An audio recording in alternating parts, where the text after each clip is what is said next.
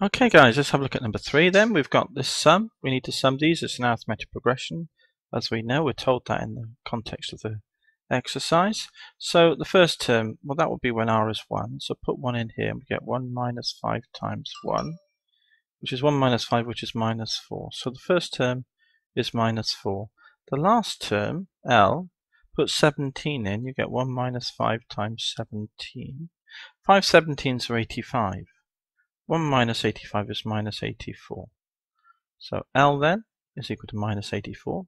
The number of terms in the sequence, we need that also, goes from 1 to 17. So clearly, there's just 17 terms in the sequence. So now we can work out the sum of the first 17 terms. It would be n over 2, uh, a plus l, which is equal to 17 over 2, a, which is minus 4 plus minus 84 which equals um, 17 over 2. The minus 4 and minus 84 make minus 88. So let's take the minus to the front, leave the 17 there. 2 goes into 88 44 times. So it's minus 17 times 44.